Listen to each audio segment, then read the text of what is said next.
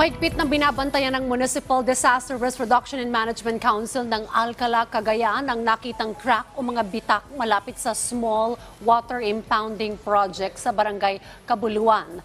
Ayon sa MDRRMO Alcala, lumambot at nabitak ang lupa dahil sa tuloy-tuloy na pagbuhos ng ulan dulot ng bagyong Goring.